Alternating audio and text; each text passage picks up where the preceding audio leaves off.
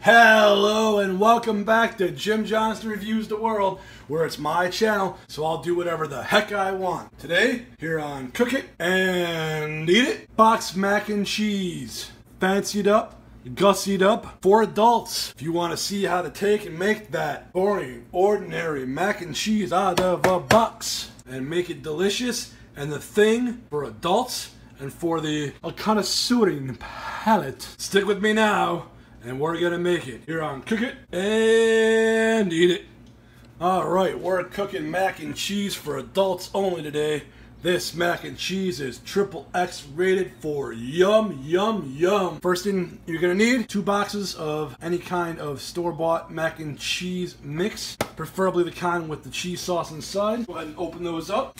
Take out the cheese sauce packets, set aside for later. Need a bag of cauliflower. This one is this one's about 12 ounces. Go ahead and take that out, let that start thawing up. And then gonna need a minimum of a half pound up to a pound of shrimp, peeled, deveined, and detailed. These actually came peeled and deveined, but not detailed. These are also pre-cooked, so they won't go until the very end of this recipe. Boil up your noodles, cook them till they are perfectly springy and al dente. Drain, Rinse over cold water to cool off. Set those aside. Put your pot back on low medium heat. Get a small sauce pot like this one. Put that on very low heat. We're gonna get started on putting this together. Folks, I skipped the whole cooking the macaroni part because I figured by now you know how to salt, boil water, put a little oil in, cook noodles till al dente. Alright, I went ahead and I opened up that cauliflower and I made sure to break it down into all relatively bite-sized pieces, which is a good thing. Um, this particular bag was awfully stemmy so it's good to have a chance to break those stem pieces down into nice bite-sized pieces for cooking. I increased the heat on this to a solid medium or 50% power of what this uh, device allows. And we're going to add in some butter, about a tablespoon give or take. Going to add about a tablespoon, no, about a half a tablespoon to two thirds of a tablespoon of butter to the small sauce pot. Almost called it a toss pot, that's something completely different.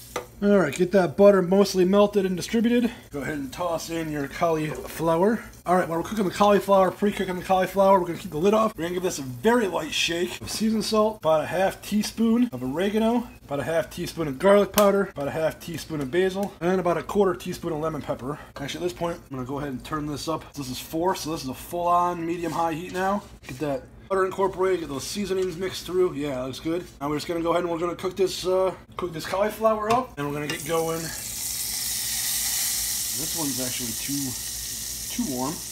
Turn that down for a minute. Now this is gonna be our magic sauce, our magic cheese sauce. I want to add to my butter about two tablespoons of water, and then we're gonna go in the two packets of cheese sauce. Go ahead and take the time to squeeze all that goodness out. Second time on the video. We'll magically be back when all the cheese sauce is added. Alright, all the cheese is in the pool, and this is looking like some basic mac and cheese with cauliflower added so far. I did give that cauliflower a couple stirs. We're going to kind of roast that off and brown it a bit. And now it's time to get to Jim's favorite part. What is it, everybody? Never miss an opportunity to add more flavor. The rest of this is where we get from mundane, everyday mac and cheese with the kids to adult triple X for excitement, delicious. Throw in another word for the triple X, whatever. But this is how we're to kick it up from kids mac and cheese to adult mac and cheese, even though it's still out of a box. Right here, we got our two packets. This is to be the Ultimate Awesome Sauce, Ultimate Awesome Cheese Sauce. So far, we've got in about a tablespoon of butter, a couple tablespoons of water, just to make sure things didn't get too clunky. Our two packets of cheese. Now we're to add in about eight drops. One, two, three, four, five, six, seven, eight. Liquid smoke.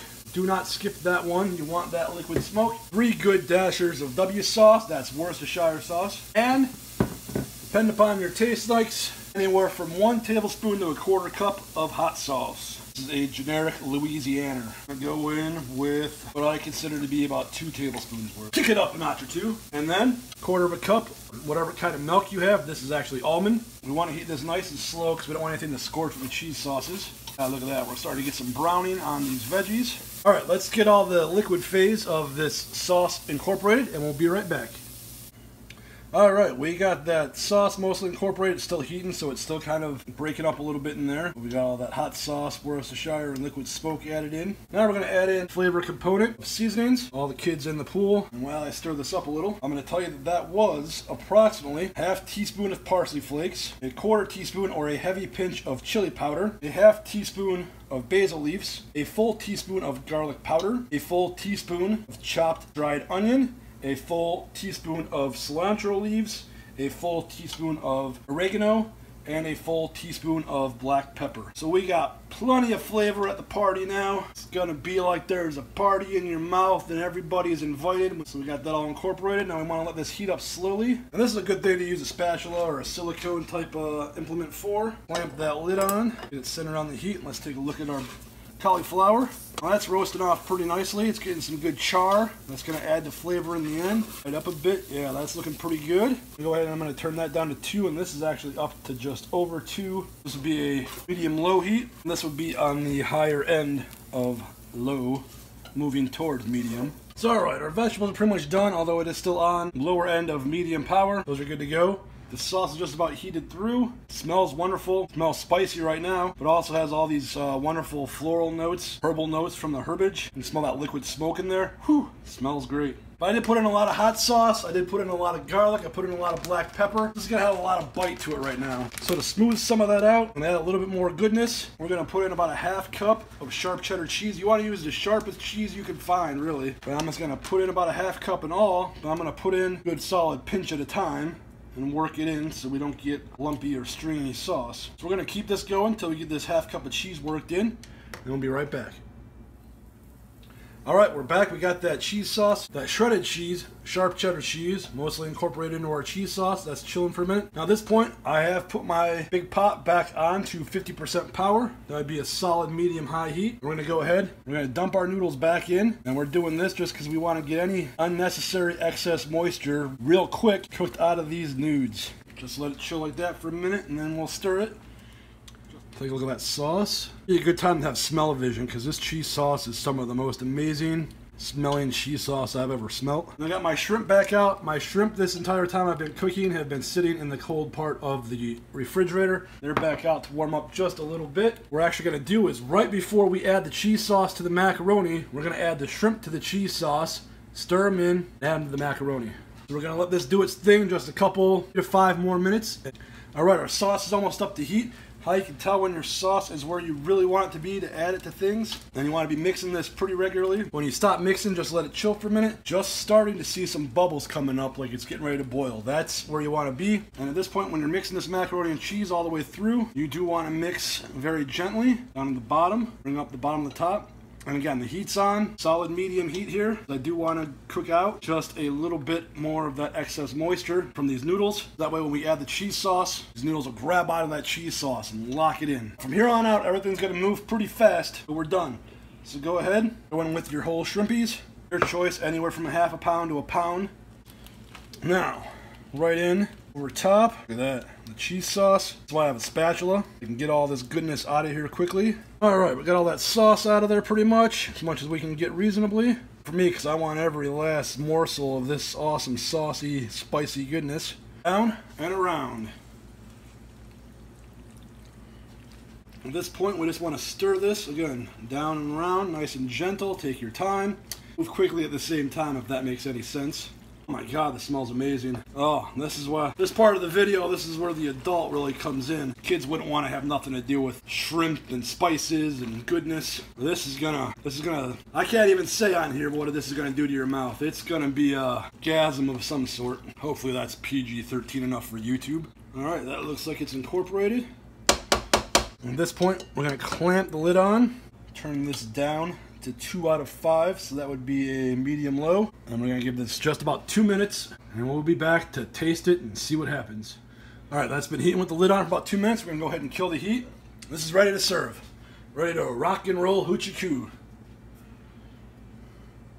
Give it one final stir, down and around. So much smells. This stinks real pretty. So many smells, so many aromas. Oh, it's just amazing. So all right, we got our serving dish here. We're going to spoon some out. Look at that, though. Let's look at it. Oh, my God. Put the lid back on. And then just because it says for adults, adults only, we're gonna go ahead and we're gonna garnish with a little bit of parsley flake. Now take a look at that. Now tell me that isn't some beautiful mac and cheese made for adults only. Send the kids to bed, folks, because this one's gonna get adulty.